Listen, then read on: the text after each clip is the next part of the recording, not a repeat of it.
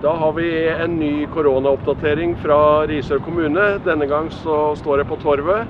Det er fortsatt ingen registrerte smitta i kommunen. Nå foregår en kontrollert og gradvis gjenåpning av samfunnet, samtidig som vi har et strengt smittevern. eh, Og det er en krevende balanse. I dag har barnehagene åpna, og mange barn er veldig glade for det.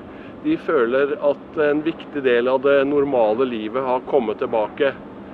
Barnehagene følger de statlige veilederne veldig strengt, eh, og er også motiverte for å ta et godt tak for smittevern eh, og passe godt på barna. Så takk for innsatsen, alle i barnehagene nå. Men husk at lekeplassene ved barnehagene fortsatt er stengt utafor barnehagens åpningstid. Det er veldig viktig for å holde på smittevernet. Når det gjelder skoler, så kommer det en veileder i dag. Og forberedelsene er i full gang på skolene for åpning neste mandag. Her eh, gjøres det forberedelser på mange områder. Og jeg vil kanskje spesielt i dag minne om renholderne, som gjør en stor innsats både i barnehager og på skolene.